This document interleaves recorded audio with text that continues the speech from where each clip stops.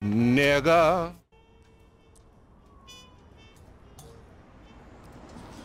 Aparte que se muera gente no es tan malo, porque quieras que no es gente pues que deja de dar por culo el medio y así te puedes centrar en los que de verdad importan. Tampoco pasa nada, hombre. Yo he Los venido a no resolver son lo casos. peor de mi trabajo. Pueden darte una paliza, pero al menos puedes defenderte. Cuando montas guardia durante horas, sentado en el coche, no tienes opción. Las piernas se agarrotan, la espalda y el cuello se tensan. Todo tu cuerpo pide una tregua a gritos. Es aburrido y repetitivo. Eso es porque no tienes una silla gamer.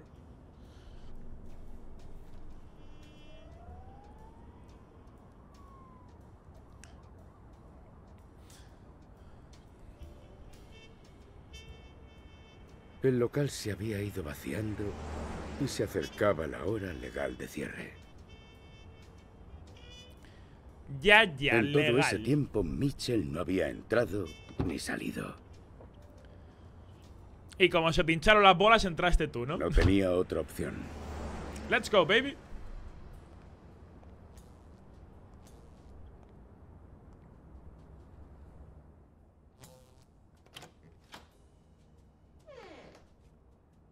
Así que ha aceptado mi invitación.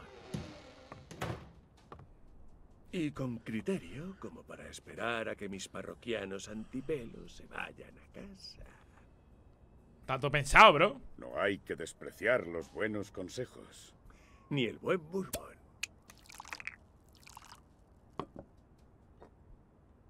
Hmm.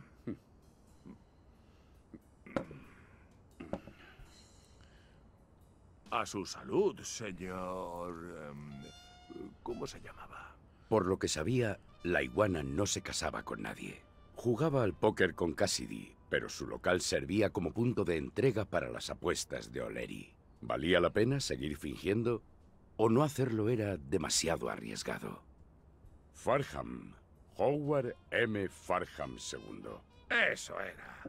Howard Farham, de Ding Dong, Texas. ¡Pumba! No, todavía no voy a desvelar nada. Hay que hablar con Confi, hombre. Se le da bien. Incluso mejor que el póker. Esto es más fácil. Nadie hace trampas. Apenas se sorprendió cuando Cassidy decidió darle lo suyo a esa águila. Mm, ¿Qué quiere que le diga? Eh... Me dejó de manera como para sorprenderme. Eh, lo hubiese hecho él, lo hubiese hecho yo. Eh, mismo. Soy Si tejano. Cassidy no le hubiese dicho al barbero que lo matase, lo hubiese hecho yo mismo. Soy tejano, coño. Dios y la decencia me lo agradecerían. Dígame, no me quedó del todo claro. Soy enemigo de Desmond O'Leary. En realidad soy enemigo de Desmond O'Leary. Si Ah. conoce la rivalidad entre ambos, no es necesario que le cuente más. No se apure. Preguntaba por curiosidad. ¿Y de mí? ¿De mí qué? ¿Qué quiere de mí? Nadie entra en la iguana solo para beber o jugar al billar. Busco a un cliente habitual, al doctor Angus Mitchell. ¿Para qué? Ah, Fuimos compañeros en la guerra. Quiero asociarme con él. Quiero asociarme con él. Sé de sus negocios deportivos y eh, creo que una asociación sería... Pero acabo de decir que soy enemigo de O'Leary y él trabaja con él. ¿eh? Hagamos una cosa. Hablaré con Mitchell. Vuelva mañana por la noche. No me entiende. Tengo que hablar con él. Eh, Si no... Si no, ¿qué? Le encontré a Cassidy que trabaja para O'Leary. Tengo amigos, puedo hacerle la vida imposible. ¡Eh, eh! contigo voy a amenazarle! Cassidy podría enterarse de que en el cuchitril de su compañero de timba se recogen apuestas para un tal O'Leary. ¿Le suena de algo? Ups. Será rastrero. Está bien. Déjeme su teléfono. Cuando Mitchell aparezca. No te estás aquí- enterando. No. Va a llamarle ahora mismo. Y le dirá lo siguiente. ¡Que venga ya! Cuando montas guardia durante horas, sentado en el coche, no tienes opción. Las piernas se agarrotan, la espalda y el cuello se tensan. Todo tu cuerpo pide una tregua a gritos. Es aburrido y repetitivo. Tanto que hasta los pensamientos se repiten en bucle, como cuando montas guardia durante horas, sentado en el coche. El propietario de la iguana debía decirle a Mitchell que cierto oso hormiguero seguía vivo y que era cuestión de horas que cantase si no lo había hecho ya. Y ahora lo voy a seguir. Un poco de suerte, eso le pondría nervioso y cometería errores. Bien, bien, Solo bien, quedaba bien. seguirle. La verdad que decir que no lo estoy jugando nada. Quitando las cagadas de timing y tal. Obviamente, soy humano y tengo una mano pocha. Aunque le estoy echando la culpa de la mano más cosas de las que son en verdad. Pero la verdad que no estoy. No creo que esté jugando nada mal esto, eh.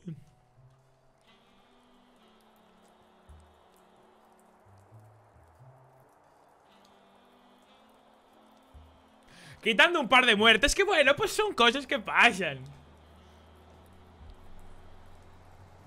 Estamos en Chicago, bueno, en, los, en, en Nueva York, eh, a los, en los años 30 o así, quizá, por la época, por la... ¿Lo que es? 30, 40... No, porque si fue después de la guerra serán los, los 50. 60 como mucho. Seguramente 50.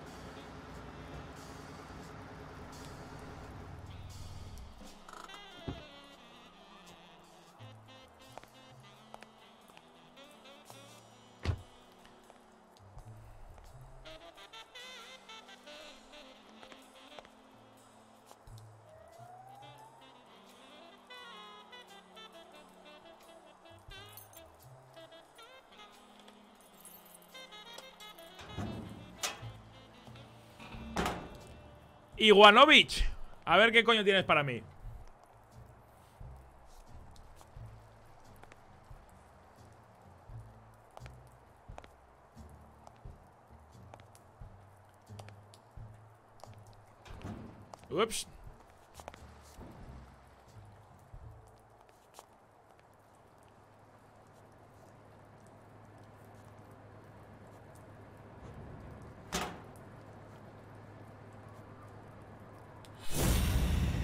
¡Ojo! A ver, ve si, si puedo escuchar lo que dicen. Venga, acerca, cabrón. A ver, tiene una pipa. Eso es malo.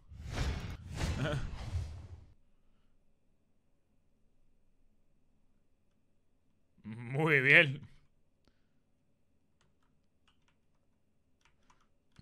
Vale, el maletín. Supongo. No llevaba eso al entrar. ¿Qué habrá dentro? Mm, Sida. Vale, eh, habrá que escucharlo. que Seguramente tenga que mirar a este. Porque es el que. Ah, no, no, claro, la, la chaqueta. Hell's Horses. Me gusta el. El nombre y el dibujo, la verdad, y el logo. Vale, y a ver qué coño están diciendo. Pega la oreja ahí. Pero saldremos de esta. Tú monta guardia allí. Y si aparece el gato, ya sabes. Yo vuelvo en una hora.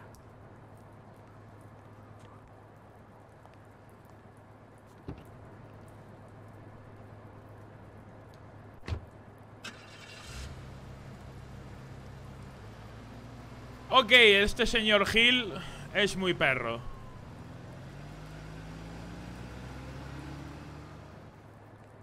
El caballo que en vez de green tiene coleta, eh, mola un montón.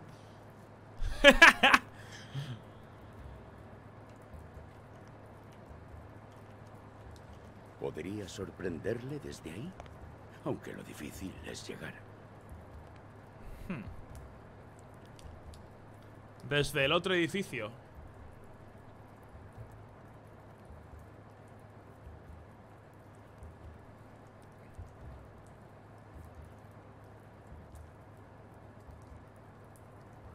Se está poniendo intensito aquí todo, eh, tío. Me está gustando más el juego, tío. tiene que haber algún canal. No, aquí hay unas escaleras. Que suben a la terracita de ahí. Y seguramente puede hacer algo. Pero antes. ¿Habrá algún cromo por aquí? O a lo mejor puedo subir por el container o las cajas. Pero lo realmente importante son los cromos. Bro, ¿puedo ir hasta allá? ¿A tomar por culo de la vida?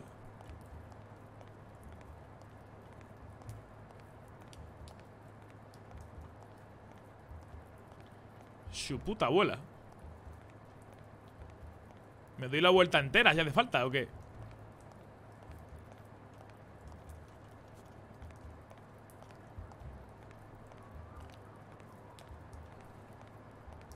What the fuck? ¡O cojo el torito! Y le reviento la atropella en plan de pin, le empalo, tío. Todo guapo. Hostia, fíjate que todavía me dice que sí, eh.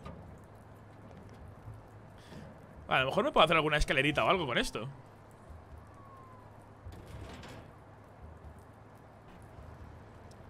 Mantén para avanzar y retroceder. Para cambiar la dirección.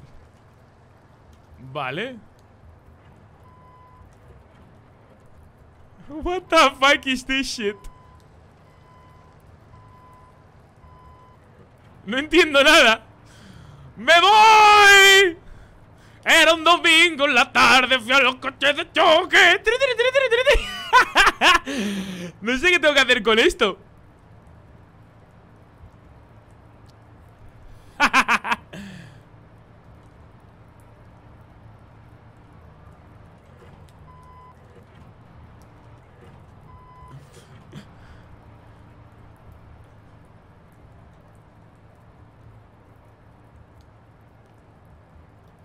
¿No puedo, no puedo meterme por ahí? Y no puedo bajarme tampoco O sea, esto me tengo que comer sí o sí, ¿no? Vale, ¿qué coño tengo que hacer con esto? O sea, he ido, he ido por un pensamiento sádico Y de repente me he visto aquí No tengo ni idea de lo que tengo que hacer ahora Apilando cajas, bro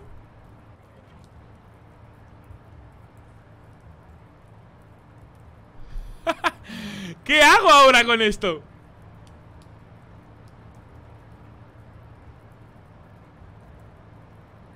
no tengo ni idea. Eh, Yo lo voy a dejar aquí a ver qué se le ha ocurrido a él. Ojo, qué estilazo tengo, eh.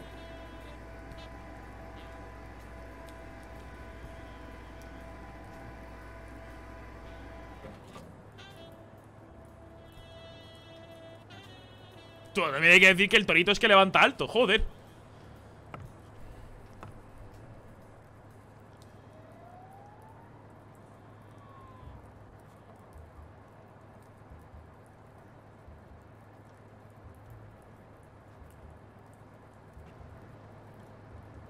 Saltar sobre Gil No saltar. Voy a, esperar un momento. Es que no sé por qué me da que, que es demasiado Grandote como para saltarle así como así, ¿no? A lo mejor me puedo colar sin saltarle. Lo cual sería un puntazo. Como la bandera de Japón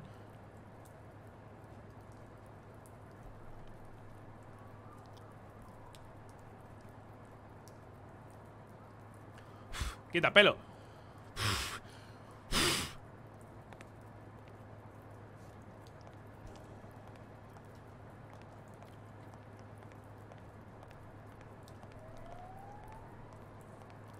¿Me puedo meter por la clara polla? O por lo menos mirar qué hay. Está muy oscuro. Ahora hay unos tablones aquí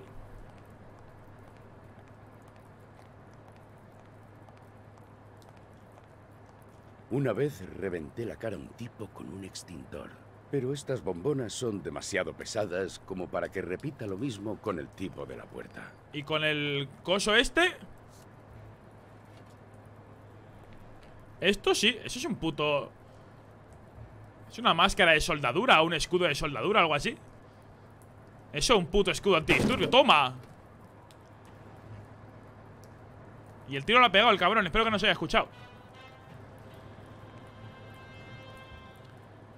Coge la pipa. Coge la pipa. ¡Coge la pipa! ¡La pipa!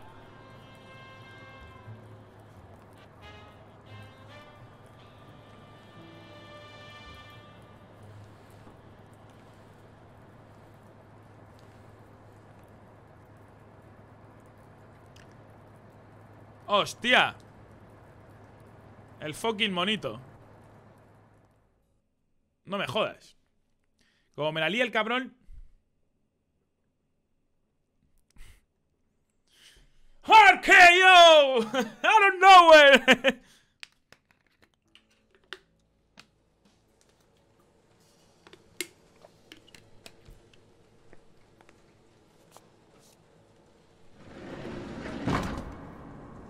Aparcado el caballo.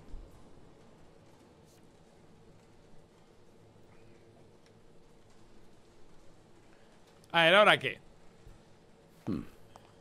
¿Qué esconde este lugar? ¡Sida! Todo es SIDA. A ver, el dildo este gigante que tiene. Enciendo las luces, la verdad es que no quiero. Por ahora no. Primero quiero mirar a ver qué coño hay que hacer.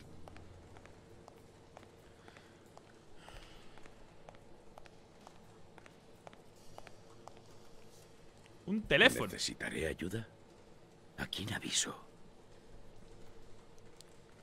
Aviso Smirnov. Aunque de primeras quizá tenía que haber investigado más antes de haberle llamado. Puede ser. Bueno, en lo que llega, en verdad. Mierda, comunica. Smirnov. Dentro de una hora en el muelle 36. ¿Blacksad? Entrando por Montgomery, el sexto almacén junto al mar. ¿Qué sucede? Traiga la caballería. Vale, entonces puedo, digamos, jugármela un poco. Has puesto a mí no al corriente, más o menos.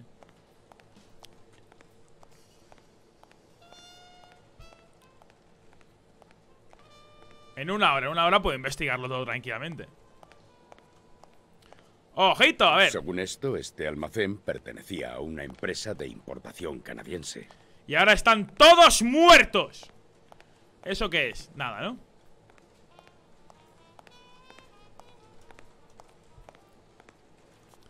Tira para allá.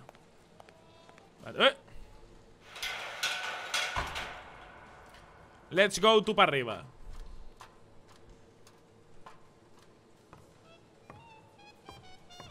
Coño, un tótem.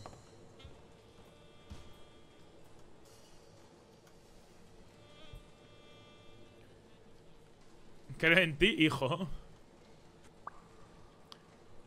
Podría tratarse de un totem o jibwe. Gibla. ¿Acaso lo de arriba sería una grulla? Pues muy bien. O Gibla. Coño. Un atrapasueños. Se supone que cualquier mal que pueda acechar a un niño que duerme quedará enredado en la telaraña. Yep. ¡Micromo! ¡Ole! Si no me equivoco, son bastones de hierbas aromáticas que se queman como ritual de limpieza. Pues yo muy pacífico no tiene pinta. Oye, ¿puedo coger el hacha este? Me molaría mazo. ¡Eh! ¡Otro cromo! Ahí está. Es mi cromito, hombre. Aquí no parece que haya nada más. Vale, voy a seguir investigando antes de eh, ponerme a deducir. Hola. Soy negro triste. Soy un fucker. Tengo siete vidas. Bueno, más o menos. Y si me cabreas, te pego un tiro. Y si me matas, vuelvo con otra de mis siete vidas y te pego un tiro. Hola, bro. Vamos a hablar tú yo.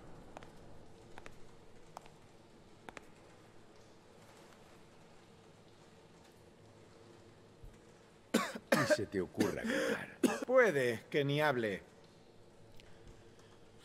Primero, Ultra Instinto. Ah, así que eres de la cultura mojabunque de esta, ¿eh? Parece una punta de flecha.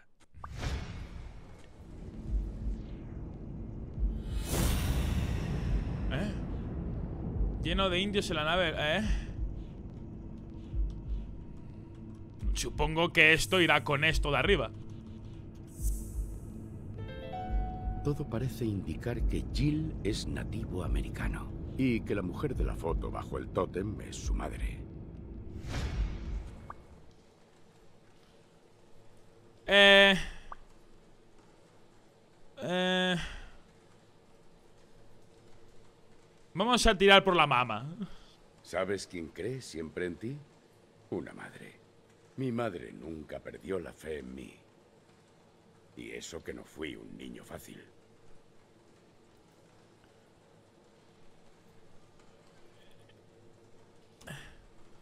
Empecé quedándome con las vueltas cuando me mandaban a hacer. Oh, qué malote. Luego me dio por llevarme frutas de los puestos callejeros. Y acabé metiendo la mano en bolsillos ajenos. No sé cómo, pero mi madre consiguió que llegase a la universidad. ¿Se lo agradecí cambiando mi actitud? No. Eh, vamos a tirar por las campañas. Hice nuevas amistades. De esas que no responden a la definición de amigo que puede tener una madre. Después llegaron Pearl Harbor y el reclutamiento. Me destinaron a Europa. Vamos a meterle un poco de miedo. deber, pero no conozco nada más adictivo. No todas las víctimas fueron nazis. Y la posguerra no está siendo mejor. Soy un paria, un ex soldado que no encuentra su lugar. Y sin embargo, mi madre en todo momento. ¿Me vas a escupir? ¡Coño! ¿Se ha acojonado ya? Yo también estuve en la guerra. Ahí conocí a Mitchell. ¡Qué bueno Me soy! usaron, como a tantos de mi pueblo. Pero cuando volvimos, nos dejaron de lado. La primera vez que Mitchell me ofreció esto, me negué en redondo. Quería enderezar mi vida. Meses después, volví suplicando. No me gusta Mitchell, ni lo que me obliga a hacer. Tampoco me gusta esa rata alemana. Y sobre todo, no me gusto yo. No me gusta ¡Ole! lo que hice en la guerra, ni lo que hago ahora. ¿Sabes lo que es acabar con un amigo por el bien de una misión? Vale, obviamente mató a los hormigueros. Pero mi madre, ella siempre creyó que acabaría por enderezar el rumbo. Ah. No es mal tipo. Solo está perdido en la vida. Cuando domine el mundo morirá sin dolor. Va siendo hora de que lo haga. Número 3. Gracias, amigo mío. ¡Qué majo! ¡Fíjate! Number 3. Que es el que he ido aquí a abrir antes. Claro, me haría falta la llave. ¡Oh, mama! ¡Qué padre! Es que soy bueno cuando quiero soy bueno, ¿eh? ¡Claro! ¡Hombre! Pues llave, truth. Ala, mete Bonshi ahí.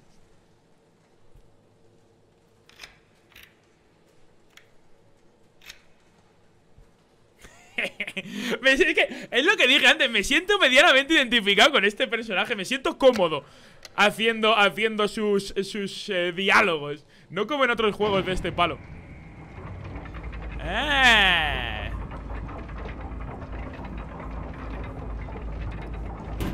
Me hubiera gustado preguntarle un poco más por Mitchell y toda la movida, pero bueno, si me lo ha dado todo, supongo que aquí encontraré todas las pistas que necesito. Oh, mamacita. Oh, mama said that. Oh, damn. Oh, damn. Oh, damn. Soy un fucking gato negro. Te rompo la vida, te rompo el culo, te rompo la cabeza y me quedo con todo.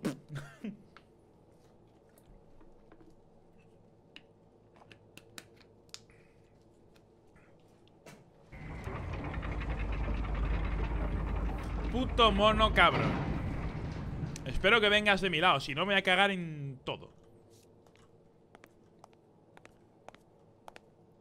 Mi cromo primero. De Jerry Lee Paddington. A ver, sabemos que el mono está aquí. ¡Está aquí! ¡Mono! ¡Pero entra! ¡Está ahí arriba! ¡Ahí! Joder, tío. Oh, uh. A ver, esta cámara es peor que la de Resident Evil, no me jodas. Y el mapa tampoco dista mucho. Abrime la puerta, Giuseppe.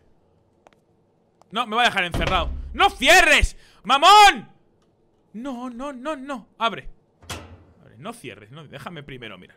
Espérate. Espérate. Espérate, espérate. No quiero mirar aquí. En el cuartito. Me va a dejar encerrado el cabrón. Oh, mierda. Eh. Tranquila. No tengas miedo. Brunhilda.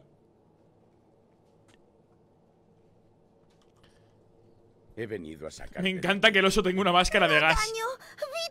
Vite. Como buen alemán. ¡Es tan cruel que me encanta! El oso, lo de la niña no, por Dios.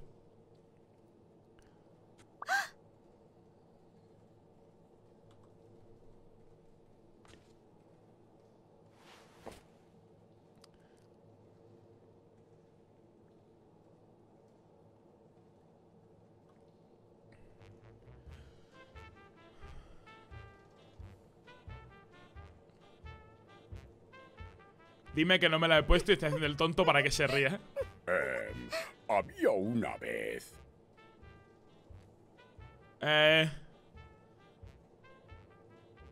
una valiente, llama- una heroína, una bella princesa, va.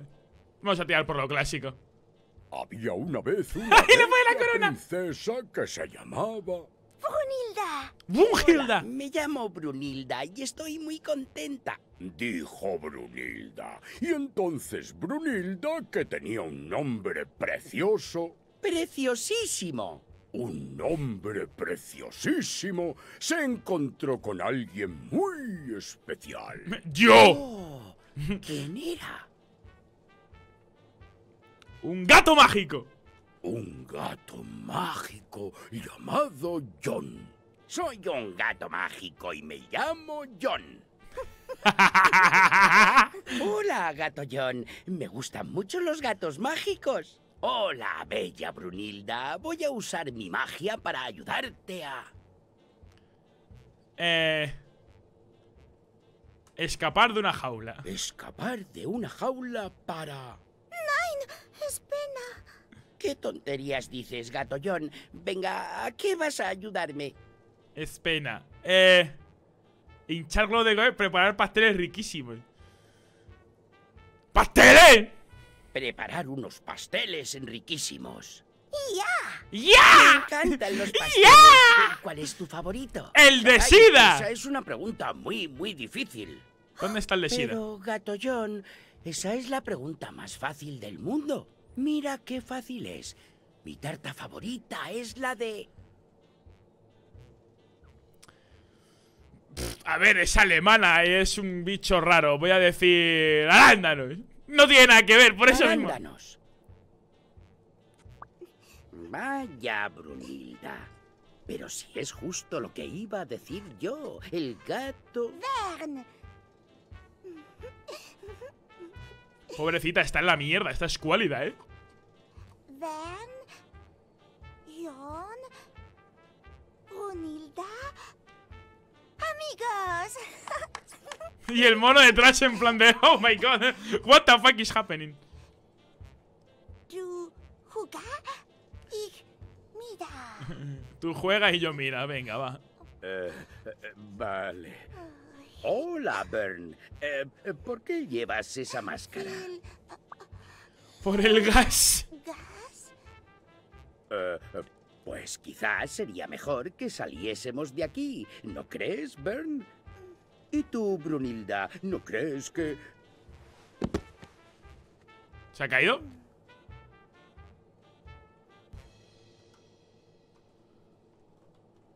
What the fuck is happening? Actuar como un padrazo. Pero no he visto nada de lo que había dentro.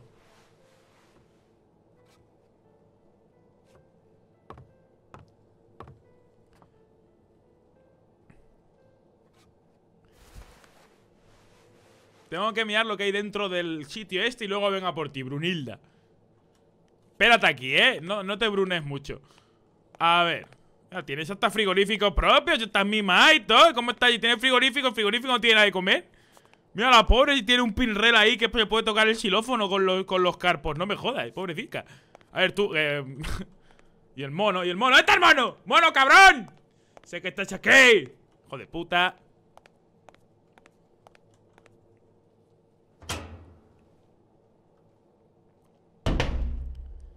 A ver, no sé por qué cierras ahí, tío Eso sí que me jode la marrana, eh Que, que, que cierres ahí porque sí, tío A ver, ¿qué tenemos aquí?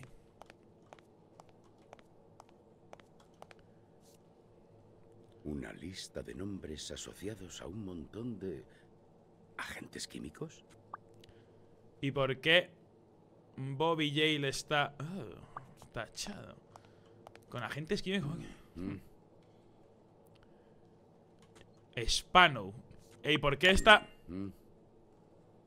una lata de película antigua con el nombre de Spano? Altamente inflamable, prohibido fumar. Eh, vaya. Eh, no sé por qué no me acaba de convencer esto. A ver, botes químicos.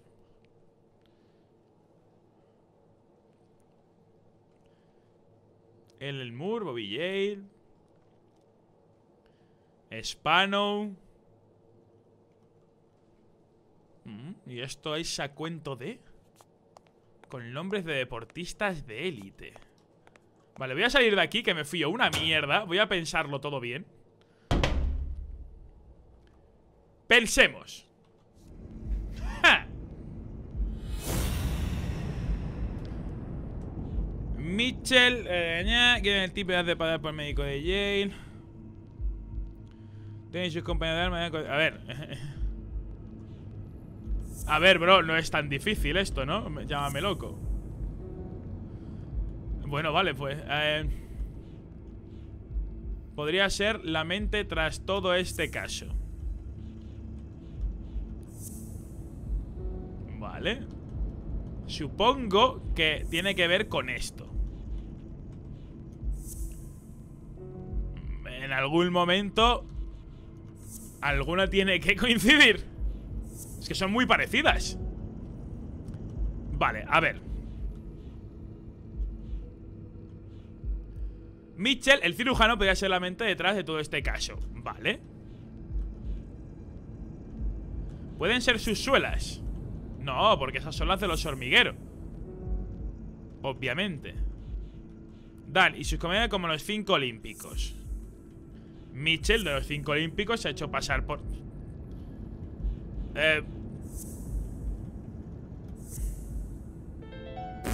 Posok, bro Mitchell, quien hizo la guerra con Dan, se ha hecho pasar por médico de Jane. No jodas, bro Es como si no se hubiera sabido eso hace un rato enorme ¿Sabes?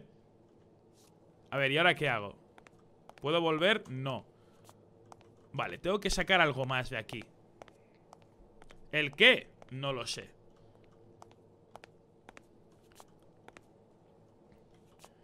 A ver, Brunhildi eh, Aquí contigo poco se puede hacer, ¿no? Parece que no. Vale, ¿y por qué este hombre tiene a una niña ahí encerrada? Vale, vamos a volverme a meterme aquí. Sé que en algún momento me va a dejar encerrado el cabrón este dentro y me van a joder. Lo bueno es que ha avisado a la policía. Eso es bien. Por lo menos. Vale, ha vuelto a guardar. Eso significa, vale, esto lo había visto yo. ¡Oh, mamá! Vale, enviamos películas. Miremos peliculines A ver, despliega el coso Vale ¡Oh, mi cromo! Importante ¿Y estas películas de qué son?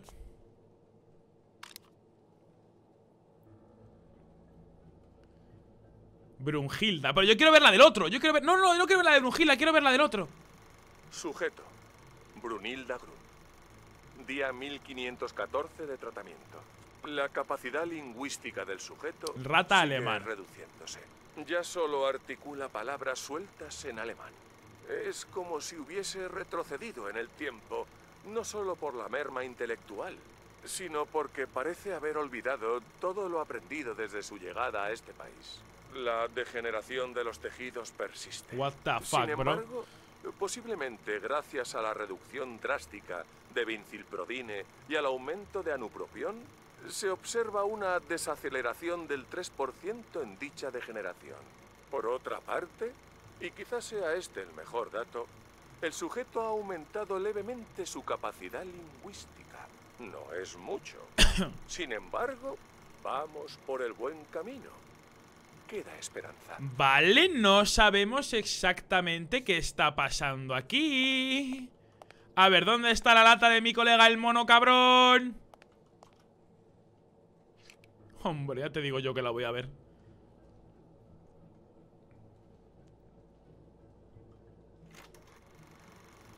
Sujeto. Craig Spano. Día cero del tratamiento.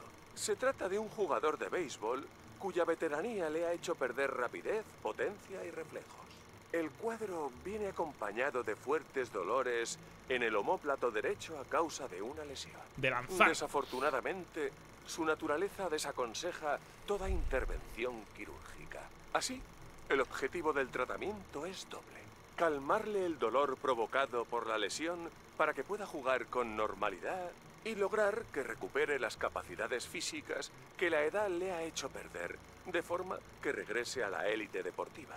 A tal efecto, se le administrarán en dosis diarias analgésicos radicales junto con día 128 de tratamiento. A todos los efectos, el tratamiento está siendo un éxito. El sujeto ha dejado de percibir el más mínimo dolor al usar el brazo derecho, lo que le permite lanzar sin miedo. Por otro lado, su rendimiento deportivo no solo ha igualado Ah, el o que sea, tuvo en esto la es- cima de su carrera, Es dopaje, ¿no? que incluso lo está superando en aspectos como la precisión y la capacidad de concentración. De momento, el único efecto secundario es una leve sensación de euforia que asciende a las tres horas de la toma y remite cuatro horas después, sumiendo al sujeto en un pequeño valle emocional que coincide con unos leves. ¡Ay, la droguiña! 341 de tratamiento. La salud del sujeto se ha deteriorado considerablemente.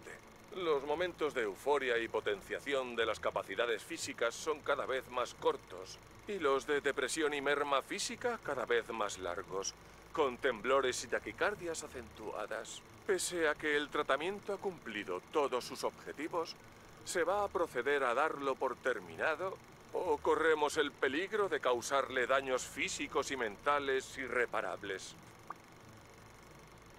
Ajá.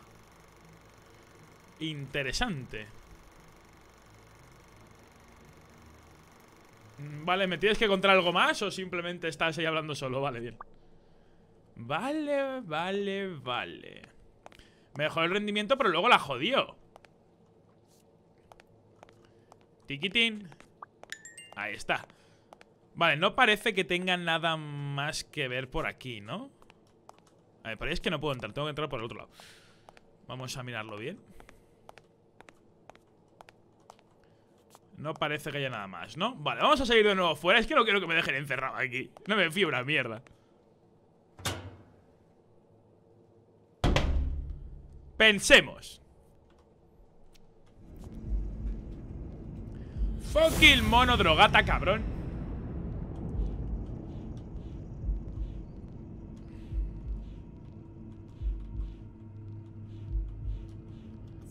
Vale. Nombres de deportistas y mejora de rendimiento. Con lista de nombres químicos.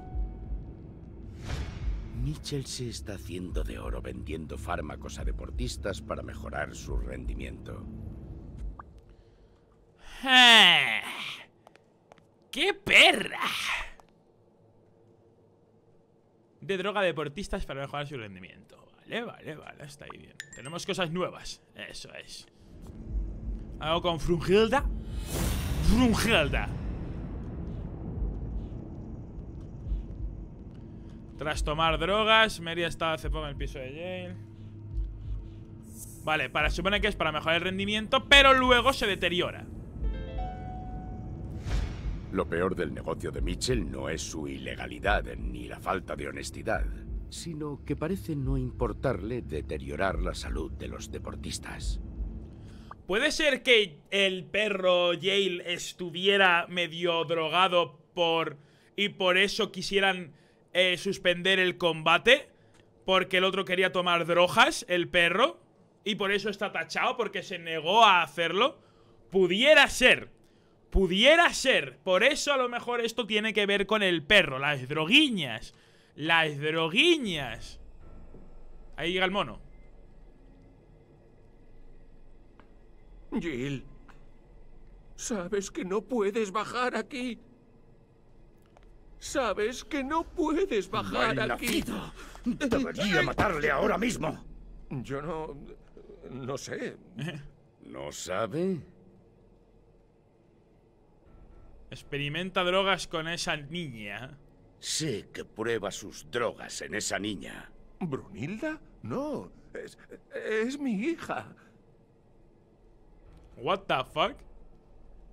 Nació con una enfermedad degenerativa, parecida al síndrome de Angelman, sin serlo. La literatura clínica solo conoce cuatro casos como el suyo.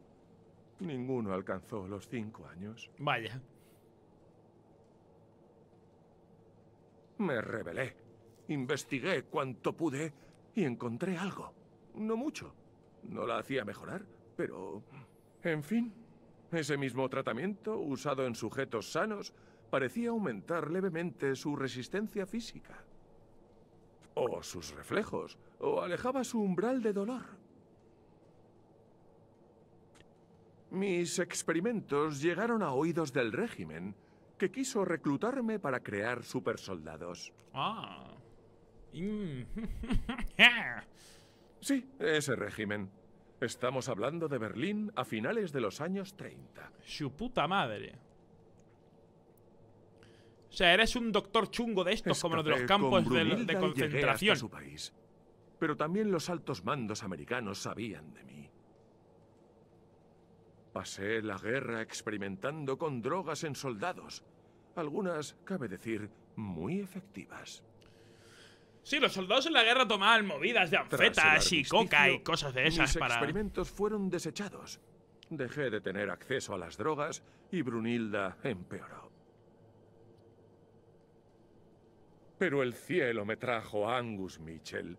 Nos habíamos conocido durante la guerra y me ofreció un trato. Yo crearía drogas para deportistas y él las vendería. Doping y el perro quería usarlas para Mi ganar al combate y el otro dijo que no, ¿no? para sufragar el tratamiento de Brunilda. Puede ser. ¡Ja! ¿Qué más quiere que le cuente? El nombre de Yale aparece dos veces, mantiene un giro a costa de qué, cuáles son los efectos a largo plazo. En me la interesa el perro. deportistas, Bobby Yale aparece dos veces, una de ellas tachada. ¿Por qué? No lo sé. Hace un par de meses, Mitchell me dijo que preparase pastillas para su perfil. Para una semana me dijo que ya no era necesario. Y anteayer volvió a decirme que sí. Respecto a esas Ajaja. pastillas, Por el combate, ¿eh? Vaya, vaya, vaya, vaya, vaya. Ch, el ojito. Ahí. ¿hacia dónde mira?